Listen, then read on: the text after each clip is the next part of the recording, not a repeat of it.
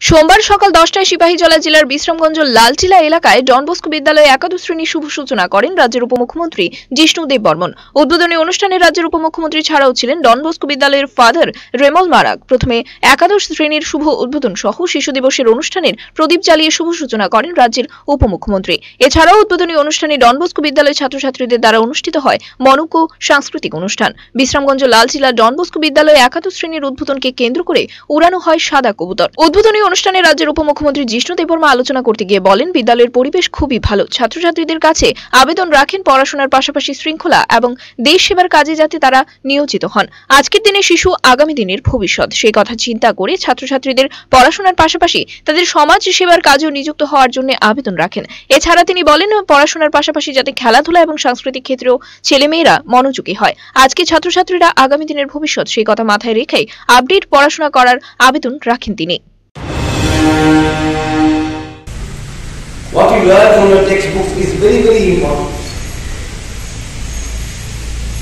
And equally important is what you learn outside class. Your discipline, your behavior, your friendships. Everyone makes good friends, and some of them become lifelong friends.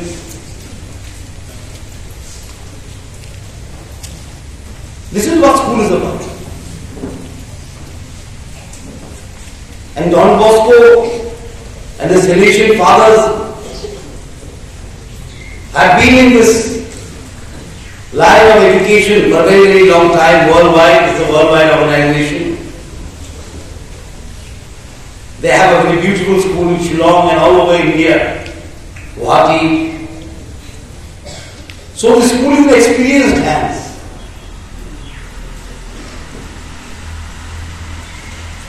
and to be educated in an institution of this type, I must say all students are very lucky.